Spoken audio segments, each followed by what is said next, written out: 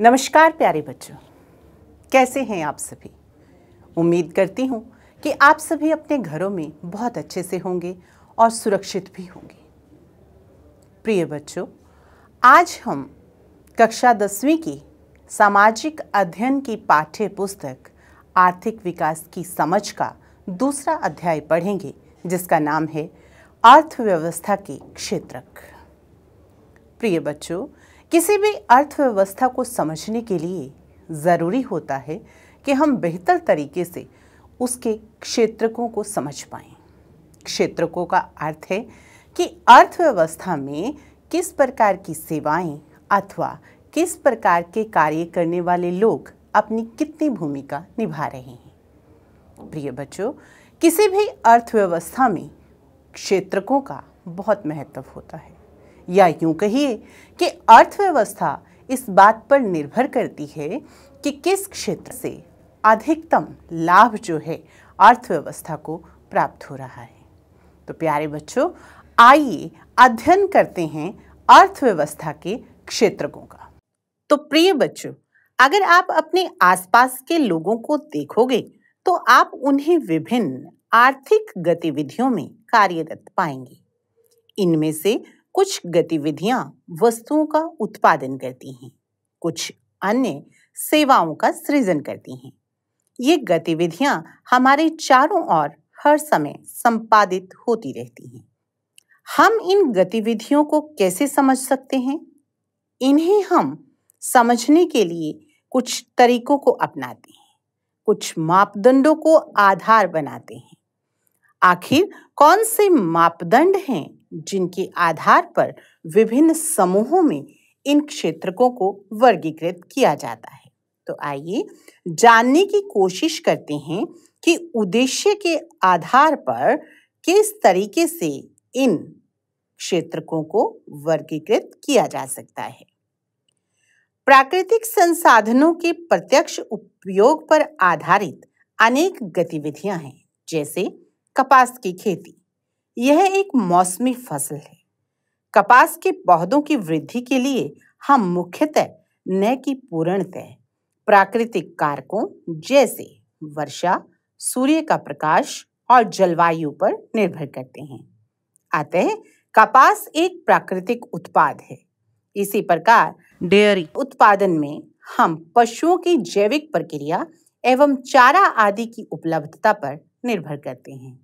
अतः इसका उत्पाद दूध भी एक प्राकृतिक उत्पाद है।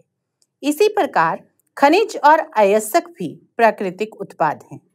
जब हम प्राकृतिक संसाधनों का उपयोग करके किसी वस्तु का उत्पादन करते हैं तो उसे प्राथमिक क्षेत्र की गतिविधियाँ कहा जाता है। प्राथमिक क्यों?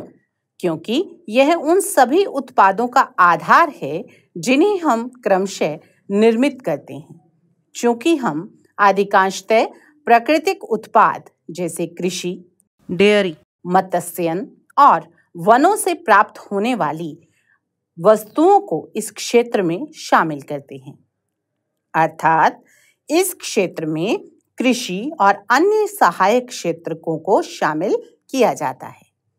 द्वितीय क्षेत्र की गतिविधियों के अंतर्गत प्राकृतिक उत्पादकों की विनिर्माण प्रणाली के ज़रिए अन्य रूपों में परिवर्तित किया जाता है। यह प्राथमिक क्षेत्र के बाद अगला कदम होता है। यहाँ वस्तुएँ सीधी प्रकृति से उत्पादित नहीं होती, बल्कि उनको निर्मित किया जाता है। इसलिए विनिर्माण प्रक्रिया अपरिहार्य है। यह प्रक्रिया किसी कारखाना, किसी कार्यशाला या घर में हो सकती है, जैसे कपास के पौधे से प्राप्त रेशे का उपयोग कर हम सूत काटते हैं और कपड़ा बुनते हैं। गन्ने को कच्चे माल के रूप में उपयोग कर हम चीनी तैयार करते हैं। हम मिट्टी से ईंट बनाते हैं, ईंटों से घर बनाते हैं और भवनों का निर्माण करते हैं। क्योंकि यह क्षेत्र क्रमशः सर्वाधिक विभिन्न प्रकार के उद्योगों से जुड़ा हुआ है इसलिए इसे औद्योगिक क्षेत्र भी कहा जा सकता है।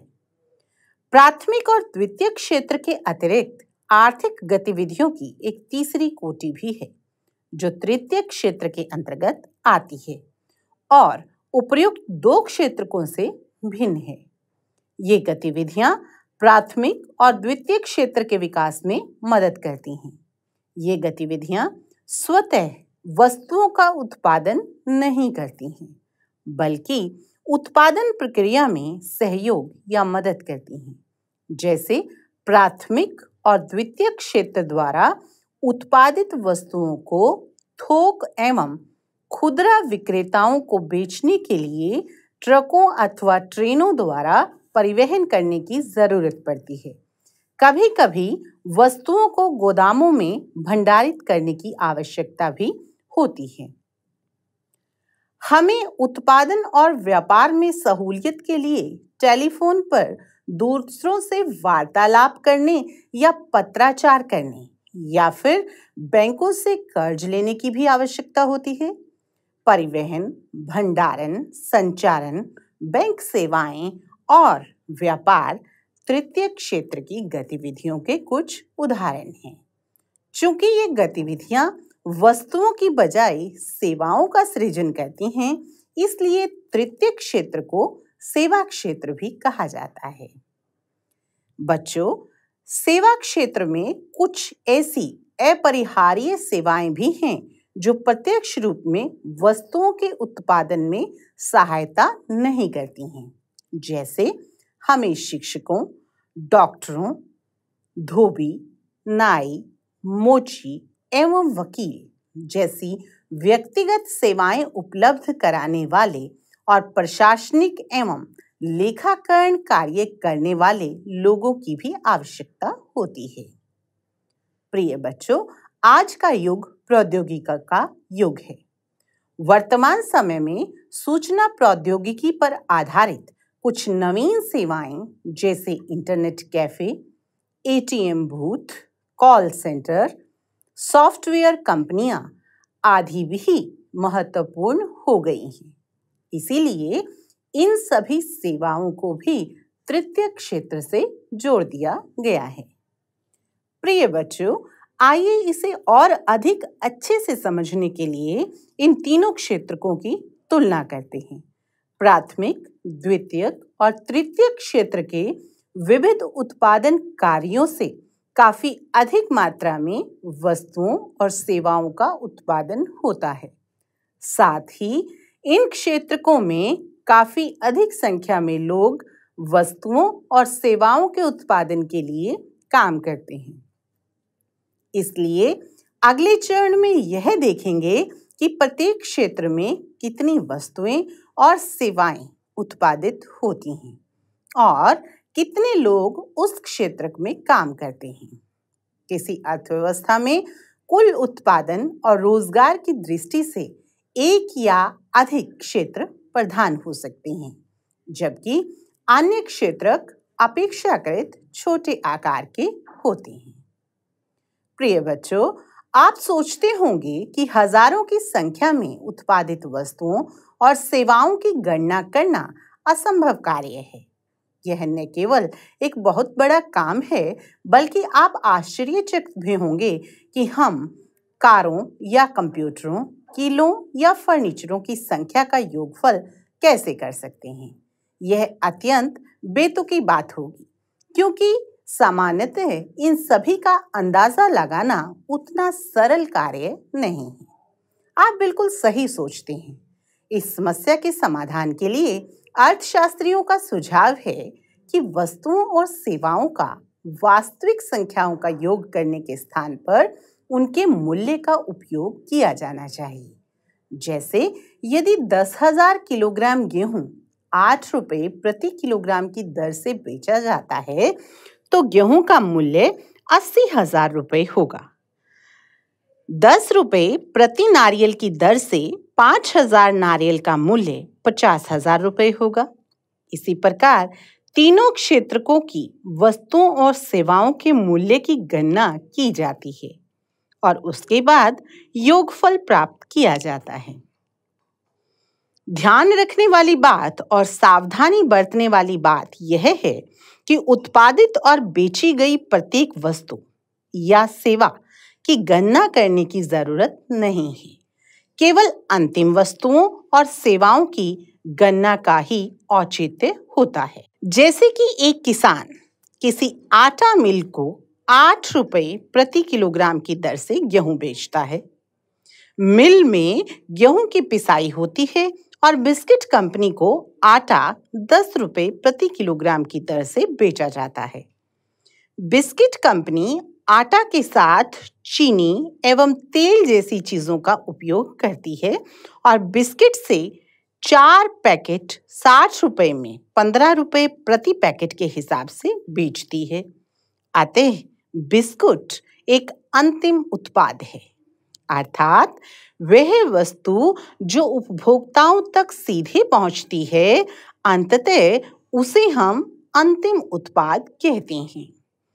केवल अंतिम वस्तुओं और सेवाओं की ही गणना क्यों की जाती है? आइए इस बात को दिए गए उदाहरण से समझते हैं। दिए गए उदाहरण में अंतिम वस्तु के विपरीत गेहूँ और आटा जैसी वस्तुएँ मध्यवर्ती वस्तुएँ हैं। आइए जानते हैं कि मध्यवर्ती वस्तुएँ अंतिम वस्तुओं और सेवाओं के निर्माण में इस्तेमाल की जाती हैं। अंतिम वस्तुओं के मूल्य में मध्यवर्ती वस्तुओं का मूल्य पहले से ही शामिल होता है। बिस्कुट उपरोक्त उदाहरण में एक अंतिम वस्तु है, जिसका मूल्य साठ रुपए में पहले से ही आटा का मूल्य शामिल है। इसी प्रकार अन्य सभी मध्यवर्ती वस्तुओं का मूल्य भी शामिल होगा। अतः गेहूँ और आटा के मूल्य की अलग अलग गणना उचित नहीं है, क्योंकि तब हम एक ही वस्तु के मूल्य की गणना कई बार कर चुके होंगे। इसीलिए मैंने आपको बताया कि जब हम अंतिम उत्पाद की गणना करते हैं तो उसमें हम केवल अंतिम उत्पाद के मूल्य को ही शामिल करते हैं। पहले गेहूँ के रूप में, फिर आटा के रूप में और अंततः अंतिम उत्पाद बिस्किट के रूप में मूल्य की कई बार गणना करना अर्थव्यवस्था में भ्रम उत्पन्न कर देता है। किसी विशेष वर्ष में प्रत्येक क्षेत्रक द्वारा उत्पादित अंतिम वस्तुओं और सेवाओं का मूल्य उस वर्ष में क्षेत्र की कुल उत्पाद की जानकारी प्रदान करता है। तीनों क्षेत्रकों के उत्पादनों के योगफल को देश का सकल घरेलू उत्पाद कहते हैं। प्रिय बच्चों, ये बात बहुत अच्छे से समझने वाली है कि सकल घरेलू उत्पाद क्या है। तो इसका उत्तर देखिए, तीनों क्षेत्रकों के उत्पादनों के योगफल को देश का सकल घरेलू उत्पाद कहा जाएगा। यह किसी देश के भीतर किसी विशेष वर्ष में उत्पादित सभी अंतिम वस्तुओं और सेवाओं का मूल्य होता है। सकल घरेलू उत्पाद अर्थव्यवस्था की विशालता प्रदर्शित करता है। प्रिय बच्चों, भारत में सकल घरेलू उत्पाद मापना एक कठिन कार्य है। केंद्र सरकार के मंत्रालय द्वारा यह कार्य संपन्न किया जाता है। यह मंत्रालय राज्यों एवं केंद्र शासित प्रदेशों के क्षेत्रकों के विभिन्न सरकारी विभागों की सहायता से वस्तुओं और सेवाओं की कुल संख्या और उनके मूल्य से संबंधित सूचनाएँ एकत्र करता है और तब जीडीपी का अनुमान लगाता है। जीडीपी मायने ग्रॉस डोमेस्टिक प्रोडक्ट अर्थात सकल घरेलू उत्पाद। क्षेत्रकों में ऐतिहासिक परिवर्तन। सामान्यतः अधिकांश विकसित देशों के इतिहास में यह देखा गया है कि विकास की प्रारंभिक अवस्थाओं में प्राथमिक क्षेत्र ही आर्थिक सक्रियता को सबसे अधिक प्रभावित करने वाला क्षेत्र होता है। जैसे जैसे कृषि प्रणाली परिवर्तित होती है और कृषि क्षेत्र अधिक समृद्ध होता है वैसे वैसे पहले की तुलना में अपेक्षाकृत अधिक उत्पादन होने लगता है। प्यारे बच्चों, अब अनेक लोग दूसरे कार्य करते हैं। जैसे कुछ शिल्पी भी होते हैं, कुछ व्यापारी भी होते हैं। और समझने वाली बात यह है कि ये सभी प्राथमिक क्षेत्र पर निर्भर करते हैं। क्रय, विक्रय की गतिविधियाँ कई गुना बढ़ने लग जाती हैं। इसके अतिरिक्त अनेक लोग परिवहन, प्रशासक और सैनिक कार्य आदि से जुड़े होते हैं। फिर भी इस अवस्था में अधिकांशतः उत्पादित वस्तुएँ प्राकृतिक उत्पाद जो प्राथमिक क्षेत्र में आती थी और अधिकांश लोग इसी क्षेत्र में रोज़गार करते थे। लंबे समय के बाद और विशेषकर विनिर्माण की नवीन प्रणाली के प्रचलन में आने से, या यूँ कहिए कि औद्योगिकरण के आने से कारखाने अस्तित्व में आए और उनका प्रसार होने लगा। जो लोग पहले खेती में काम करते थे, उनमें से बहुत अधिक अब कारखानों में काम करने लगे हैं। प्रिय बच्चों, आपने अक्सर देखा होगा कि आपके दादा दादी नाना नानी गाँव में रहते हैं और आप शहर में किस वजह से रहते हैं? क्योंकि आपके माता पिता कहीं ना कहीं जो उनका पुश्तैनी काम था, यानी कृषि करना या पशु पालना, उसे छोड़कर एक नए कार्य में विलिप्त हो गए हैं। जैसे या वो कारखानों में काम करते हैं, या वो कहीं सरकारी नौकरी करते हैं, या फिर वो किसी कंपनी में कार्य करते हैं। यहाँ आप ये देख सकते हैं कि जो प्राथमिक क्षेत्र था, वो धीरे धीरे तृतीय क्षेत्र में तब्दील हो रहा है। उन्हें कारखानों में काम करने के लिए मजबूर किया गया या वो अपनी मर्ज़ी से उस कार्य में लगे। लेकिन कुल उत्पादन एवं रोज़गार की दृष्टि से द्वितीय क्षेत्र सबसे महत्वपूर्ण हो जाता है। इस कारण अतिरिक्त समय में भी काम होने लगता है। इसका अर्थ यह है कि क्षेत्रकों का महत्व परिवर्तित हो रहा है। विगत सौ वर्षों में विकसित देशों में द्वितीय क्षेत्र से तृतीय क्षेत्र की ओर पुनः बदलाव हुआ है।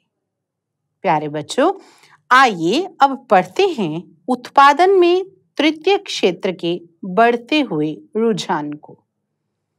अर्थात उत्पादन में तृतीय क्षेत्र का महत्व क्यों बढ़ रहा है? इस विषय में जानते हैं।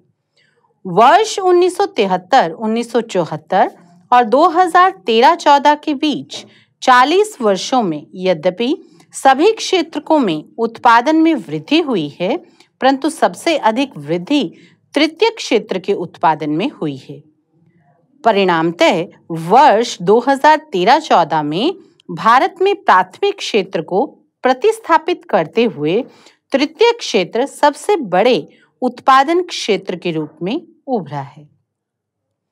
भारत में तृतीय क्षेत्र इतना महत्वपूर्ण क्यों हो गया है? इसके कई कारण हैं। पहला, किसी भी देश में अनेक सेवाओं जैसे अस्पताल, शैक्षणिक संस्थाएँ, डाक एवं तार विभाग, थाना, कचहरी, ग्रामीण प्रशासनिक कार्यालय, नगर निगम, रक्षा मंत्रालय परिवहन, बैंक, बीमा कंपनियाँ इत्यादि की आवश्यकता होती है। इन्हें बुनियादी सेवाएँ माना जाता है। किसी विकासशील देश में इन सेवाओं के प्रबंधन की ज़िम्मेदारी सरकार उठाती है। प्राथमिक और द्वितीय क्षेत्र का विकास जितना लोग अधिक करेंगे, इन सेवाओं की मांग उतनी ही अधिक बढ़ जाती है। सामान्य सी बात है अगर एक किसान के पास पहले मान लीजिए सौ क्विंटल गन्ना होता था तो उसे जितनी परिवहन की सेवाएँ लेनी पड़ती थी, उनकी मांग तब बढ़ जाएगी जब वो और अधिक गन्ने का उत्पादन करना शुरू कर देगा। तृतीय क्षेत्र जैसे जैसे आय की ओर अग्रसर होता है, कुछ लोग अन्य कई सेवाओं जैसे रेस्तरा, पर्यटन, शॉपिंग, निजी अस्पताल निजी विद्यालय, व्यवसायिक प्रशिक्षण केंद्र इत्यादि की मांग करना शुरू कर देते हैं। प्रिय बच्चों, प्राथमिक क्षेत्र और द्वितीय क्षेत्र में होने वाले विकास का सीधा संबंध तृतीय क्षेत्र के विकास से होता है। आप नगरों में, विशेषकर बड़े नगरों में, इस परिवर्तन को देख सकते हैं। भारत में सेवा क्षेत्र कई तरह से लोगों को नियोजित करता है। एक और, उन सेवाओं की संख्या सीमित है, जिनमें अत्यंत कुशल और शिक्षित श्रमिकों को रोज़गार मिलता है और दूसरी ओर, बहुत अधिक संख्या में लोग छोटी दुकानों मुरम्मत कार्यों या परिवहन जैसी सेवाओं में लगे हुए हैं। अधिकांशतः भारत में लोग कहाँ नियोजित हैं? भारत के संदर्भ में एक उल्लेखनीय तथ्य यह है कि यद्यपि सकल घरेलू उत्पाद में तीनों क्षेत्रकों की हिस्सेदारी में परिवर्तन हुआ है, लेकिन फिर भी प्राथमिक क्षेत्र से रोज़गार का ऐसा ही क्षेत्र स्थानांतरित नहीं हुआ है। इसका कारण यह है कि द्वितीय और तृतीय क्षेत्र में रोज़गार के पर्याप्त अवसरों का सृजन नहीं हुआ। यद्यपि इस अवधि में वस्तुओं में औद्योगिक उत्पादन में तीन गुना से ज़्यादा वृद्धि हुई है, परंतु औद्योगिक रोज़गार में लगभग तीन गुना की वृद्धि हुई है। तृतीय क्षेत्र में भी यही बात लागू होती है। सेवा क्षेत्र में भी उत्पादन में चौदह गुना वृद्धि हुई है, परंतु रोज़गार में पाँच गुना कम वृद्धि हुई है। परिणामतः देश में आधे से अधिक श्रमिक, प्राथमिक क्षेत्र, मुख्यतः कृषि क्षेत्र में काम कर रहे हैं, जिसका सकल घरेलू उत्पाद में योगदान लगभग एक छठा भाग है। इसकी तुलना में द्वितीय क्षेत्र और तृतीय क्षेत्र का सकल घरेलू उत्पाद में बाकी हिस्सा है, परंतु ये क्षेत्र कम लोगों को रोज़गार प्रदान करते हैं। क्या इसका अर्थ यह है कि कृषि क्षेत्र में लगे लोग श्रमिक अपनी क्षमता से कम उत्पादन कर रहे हैं? यदि आप कुछ लोगों को कृषि क्षेत्र से हटा देते हो तो भी उत्पादन प्रभावित नहीं होता है। इसकी वजह जानते हैं आप? इसकी वजह यह है कि इस तरीके की कृषि क्षेत्र में कहीं ना कहीं अल्प बेरोजगारी या छुपी हुई बेरोजगारी शामिल होती है। प्रत्येक व्यक्ति काम कर रहा है, कोई बेकार नहीं है, परंतु वास्तव में उनका श्रम प्रयास विभाजित है। प्रत्येक व्यक्ति कुछ न कुछ कार्य कर रहा है, परंतु किसी को भी पूर्ण रोज़गार प्राप्त नहीं है। उदाहरण लेते हैं, गाँव में रामलाल का परिवार रहता है और वह परिवार एक खेत पर काम करता है। उसमें रामलाल भी काम करता है, उसका बेटा भी काम करता है और कहीं ना कहीं उसकी पत्नी भी उसी कार्य से जुड़ी हुई है। यदि उसका बेटा शहर जाकर नौकरी करना शुरू कर दे तो क्या आपको लगेगा कि कहीं जो उनका उत्पादन हो रहा था, उसमें कमी आएगी? बिल्कुल नहीं। ऐसा इसलिए क्योंकि कहीं ना कहीं इस क्षेत्र में छुपी हुई बेरोजगारी प्रभाव डालती है। जहाँ लोग प्रत्यक्ष रूप से काम कर रहे होते हैं, लेकिन सभी अपनी क्षमता से कम काम करते हैं। इसी प्रकार की अल्प बेरोजगारी को छिपी हुई बेरोजगारी कहते हैं, क्योंकि उन लोगों की बेरोजगारी जिनके पास कोई रोज़गार नहीं है और बेकार बैठे हुए हैं, वो खुली बेरोजगारी में शामिल नहीं होते। इस तरीके की बेरोजगारी को हम प्रछन्न बेरोजगारी भी कहते हैं। अगर इसे सीधे और शाब्दिक अर्थों में जानना है तो यूँ कहिए कि एक रोज़गार पर कई लोग लगे हुए हैं और उनमें से यदि कुछ अपना काम करना बंद भी कर दें तो उत्पादन पर उसका सीधे से कोई असर नहीं होता। अर्थात, वो व्यक्ति रोज़गार तो कर रहा था, लेकिन उतना ही उत्पादन तब होगा जब वो व्यक्ति कहीं और रोज़गार प्राप्त कर लेगा। और अक्सर हमारे ग्रामीण क्षेत्र में इस तरीके की बेरोजगारी की भरमार है। यदि हम कुछ लोगों को कृषि क्षेत्र से हटाकर उन्हें कहीं और समुचित रोज़गार उपलब्ध करा दें तो भी कृषि उत्पादन पर बुरा प्रभाव नहीं पड़ेगा। कोई अन्य रोज़गार करने से लोगों की आय से परिवार के कुल आय में वृद्धि होगी। अल्प बेरोजगारी दूसरे क्षेत्र में भी हो सकती है। उदाहरण के लिए, सेवा क्षेत्र के कुछ लोगों को सड़कों पर ठेला खींचते हुए आपने देखा होगा, जहाँ वो पूरा दिन बिताते हैं, परंतु बहुत कम कमा पाते हैं। वे काम इसलिए कर रहे हैं क्योंकि उनके पास कोई बेहतर अवसर नहीं है। अब सवाल उत्पन्न होता है कि अतिरिक्त रोज़गार का सृजन कैसे हो सकता है? हम बहुत सारे तरीकों से अर्ध ग्रामीण क्षेत्रों में उन उद्योगों और सेवाओं की पहचान कर सकते हैं और उन्हें बढ़ावा दे सकते हैं जहाँ पर बहुत सारे लोगों को नियोजित किया जा सकता है। सब्जियों और कृषिगत उत्पादों जैसे आलू, शकरकंद, चावल, गेहूँ, टमाटर और फल इत्यादि, जिसे बाहरी बाजारों में बेचा जा सके, के लिए प्रसंस्करण उद्योगों की स्थापना की जा सकती है। यह अर्ध ग्रामीण क्षेत्रों में स्थित उद्योगों में रोज़गार प्रदान करेगा। योजना आयोग वर्तमान में नीति आयोग द्वारा किए गए एक अध्ययन के अनुसार अकेले शिक्षा क्षेत्र में लगभग 20 लाख रोज़गार का सृजन किया जा सकता है। प्रिय बच्चों, इस पंक्ति से मैं आपको यह बात बताना चाह रही थी कि पहले जिसे हम योजना आयोग कहते थे, उसे अब हम नीति आयोग के नाम से जानते हैं। इसी प्रकार, यदि हमें स्वास्थ्य की स्थिति में सुधार करना है तो हमें ग्रामीण क्षेत्रों में काम करने वाले और अधिक डॉक्टर, नर्सों और स्वास्थ्य कर्मचारियों की आवश्यकता पड़ेगी। योजना आयोग के अध्ययन के अनुसार, यदि पर्यटन क्षेत्र में सुधार होता है तो हम प्रति वर्ष 35 लाख से अधिक लोगों को अतिरिक्त रोज़गार प्रदान कर सकते हैं। कुछ सुझावों में अमल करें तो लंबा समय लगेगा ज़रूर, लेकिन सुधार अवश्य होंगे। अतः छोटी अवधि के लिए हमें कुछ द्रुत उपायों की आवश्यकता है। इसे ध्यान में रखते हुए केंद्र सरकार ने अभी भारत के लगभग 625 जिलों में काम का अधिकार लागू करने के लिए एक कानून बनाया है। इसे महात्मा गांधी राष्ट्रीय ग्रामीण रोज़गार गारंटी अधिनियम 2005 कहा जाता है। प्रिय बच्चों, दोबारा सुन लीजिए महात्मा गांधी राष्ट्रीय ग्रामीण रोज़गार गारंटी अधिनियम 2005 क्या है? इसके अंतर्गत ग्रामीण क्षेत्रों में वर्ष में सौ दिन की रोज़गार की गारंटी दी गई है। यदि सरकार रोज़गार उपलब्ध कराने में असफल रहती है तो वह लोगों को बेरोजगारी भत्ता देती है। प्रिय बच्चों, आइए अब बात करते हैं संगठित और असंगठित क्षेत्र के विभाजन की।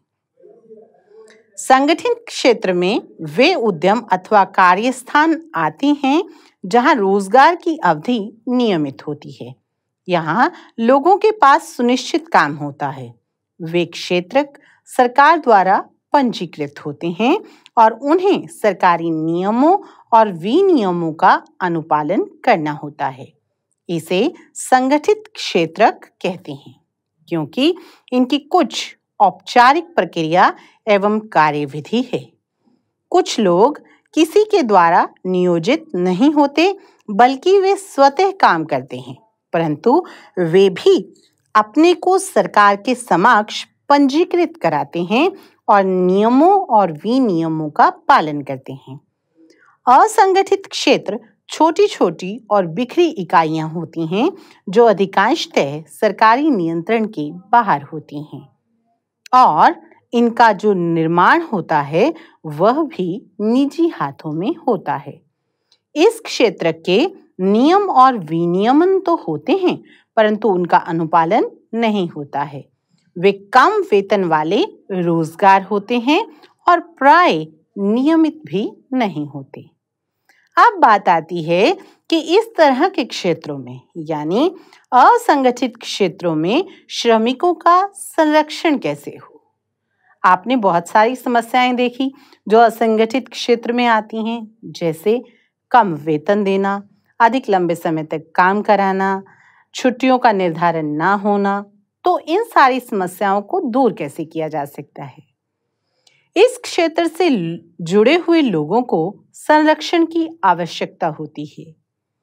ग्रामीण क्षेत्रों में असंगठित क्षेत्र मुख्यतः भूमिहीन किसान, श्रमिक, छोटे और सीमांत किसान, फ़सल बटाई दारों से रचित लोग शामिल होते हैं।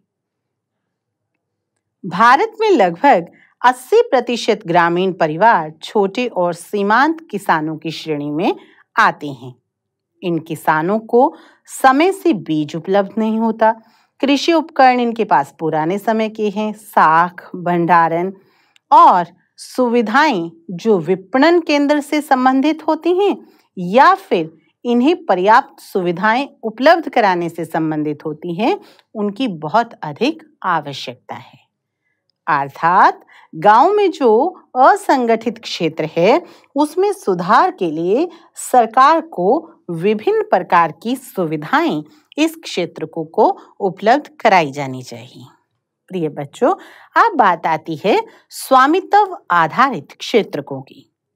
स्वामित्व आधारित क्षेत्रकों की जब हम बात करते हैं तो दो तरह के क्षेत्रक आते हैं। एक सार्वजनिक क्षेत्र और एक निजी क्षेत्र। सार्वजनिक क्षेत्र में अधिकांशतः परिसंपत्तियों पर सरकार का स्वामित्व होता है और सरकार ही सभी सेवाएँ उपलब्ध कराती है। निजी क्षेत्र में परिसंपत्तियों पर किसी खास व्यक्ति का स्वामित्व होता है और सेवाओं के वितरण की ज़िम्मेदारी एकल व्यक्ति या कंपनी के हाथों में होती है। कुछ गतिविधियाँ ऐसी हैं जिन्हें सरकारी समर्थन की ज़रूरत पड़ती है। निजी क्षेत्र उन उत्पादनों और व्यवसायों को तब तक जारी नहीं रख सकते जब तक सरकार उन्हें प्रोत्साहित नहीं करती। अधिकतर आर्थिक गतिविधियाँ ऐसी हैं जिनकी प्राथमिक जिम्मेवारी सरकार पर निर्भर करती है, पर इन पर व्यय करना सरकार की अनिवार्यता हो जाती है। प्रिय बच्चों, आपने अक्सर देखा है कि जब हम भारत की बात करते हैं तो छोटे किसान जब अपनी फ़सल उत्पादन करते हैं तो सरकार कहीं ना कहीं फ़सल का समर्थन मूल्य निर्धारित करती है। इसकी वजह यही है कि सरकार कहीं ना कहीं इस क्षेत्र से जुड़े लोगों को प्रोत्साहित करना चाहती है। प्रिय बच्चों तो आपने समझा कि किस तरीके से एक अर्थव्यवस्था तीन मुख्य क्षेत्रों में बटी हुई है? प्राथमिक क्षेत्र, द्वितीय क्षेत्र और तृतीय क्षेत्र। आपने यह भी जाना कि बेरोजगारी कितनी तरह की होती है। एक होती है प्रत्यक्ष बेरोजगारी, जिसका सामान्यतः अर्थ है व्यक्ति को रोज़गार ना मिलना। दूसरी है परछन बेरोजगारी। व्यक्ति काम पर लगा भी हुआ है, लेकिन वो प्रछन्न बेरोजगार है। यानी अगर वो कहीं उस काम से हट भी जाता है तो उस कार्य के उत्पादन में कोई फ़र्क नहीं पड़ेगा। अध्याय के अंतिम भाग में आपने यह भी जाना कि संगठित क्षेत्र और असंगठित क्षेत्र क्या है। इसके अलावा स्वामित्व के आधार पर सार्वजनिक और निजी क्षेत्र क्या है?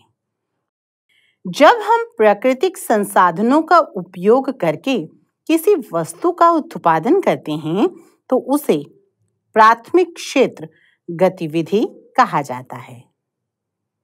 प्रिय बच्चों, द्वितीय क्षेत्र की गतिविधि किसे कहा जाता है? द्वितीय क्षेत्र की गतिविधियों के अंतर्गत प्राकृतिक उत्पादन की विनिर्माण प्रणाली के ज़रिए अन्य रूपों में परिवर्तित करने की प्रक्रिया आती है। अगर हम बात करें खालिस्तान कच्चे माल के रूप में उपयोग करके हम चीनी तैयार करते हैं। तो बताइए बच्चों, चीनी हम किससे तैयार करते हैं? जी हाँ गन्ने से। तृतीय क्षेत्र गतिविधियाँ स्वयं खालिस्तान का उत्पादन नहीं करती हैं।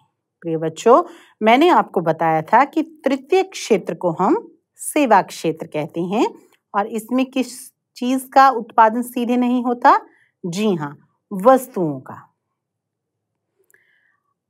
अध्याय की शुरुआत में हमने पढ़ा था कि बिस्किट एक खालिस्तान उत्पाद है।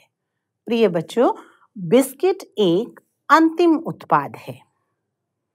भारत में सकल घरेलू उत्पाद मापन जैसा कठिन कार्य खालिस्तान के मंत्रालय द्वारा किया जाता है। मैंने आपको बताया था कि ये कौन से मंत्रालय द्वारा किया जाता है? केंद्र सरकार द्वारा, संचालित नीति आयोग द्वारा। प्रिय बच्चों, आइए कुछ और प्रश्नों से पाठ को अधिक से समझते हैं। सार्वजनिक क्षेत्रकों में अधिकांशतः परिसंपत्तियों पर किसका स्वामित्व होता है? आपको दिए गए चार उत्तरों में से सही उत्तर चुनना है। पहला है सरकार का, दूसरा है किसी व्यक्ति या कंपनी का, तीसरा है दोनों का ही, और चौथा है दोनों में से कोई भी नहीं। तो प्यारे बच्चों, इसका उत्तर होगा सरकार का।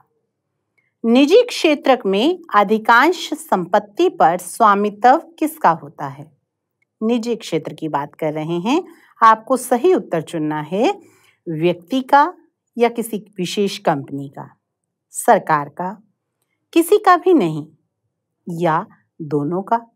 हाँ प्रिय बच्चों, इसका उत्तर होगा किसी विशेष व्यक्ति अथवा किसी विशेष कंपनी का। भारत में लगभग कितने प्रतिशत ग्रामीण परिवार छोटे और सीमांत किसानों की श्रेणी में आते हैं?